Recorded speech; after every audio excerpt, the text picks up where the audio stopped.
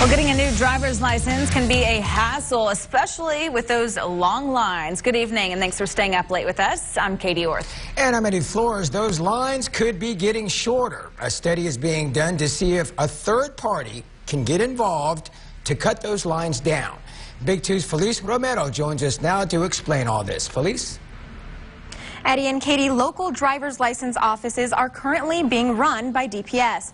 But after this study is done, the Texas DMV could be in charge. I spoke to local residents about their experience and what they think needs to be done.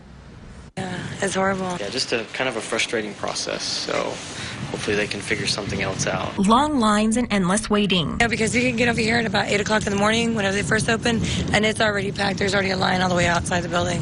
It's just ridiculous. Leaving residents with no choice but to demand answers. I'm going to file a complaint right now, so we'll see how it works out. Thomas says him and his nephew took off of work to be here and at 4 p.m. are still waiting. My nephew, you know, he's younger. The dollars kind of count more for him, so for him to take off early, it's pretty could be detrimental for what he's trying to do. A problem for a Midland mom who likes to get things done while her kids are in school. Sometimes you don't have place to leave the kids, so you know when they're off at 3:30. A problem she says can be solved with more staffing and efficient management.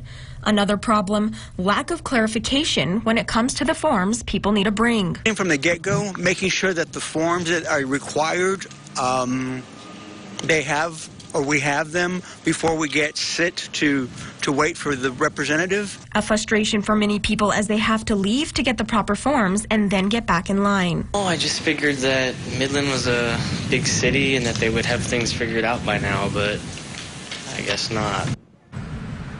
Now, after the sunset review process takes place, the advisory commission will decide if having the Texas DMV is better administrator for these offices.